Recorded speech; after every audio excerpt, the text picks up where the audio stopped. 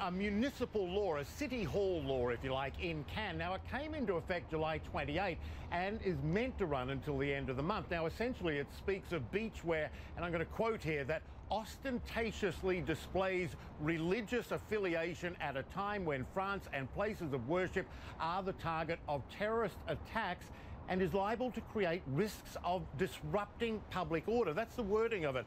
Uh, the wording does also mention, uh, obviously, apart from the security angle, it talks of safety issues as well, clothing that could make swimming perhaps unsafe.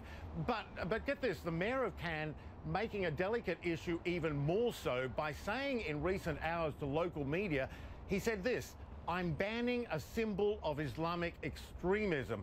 Seems like an extraordinary comment. We checked with his office. He's not walking it back. He is talking about the burkini, which is this basically Islamic swimwear. Now, why it's making news now is because a local Muslim association, uh, it's called the Committee Against Islamophobia, is challenging in court to have that law revoked for reason of discrimination. That complaint was lodged a few hours ago.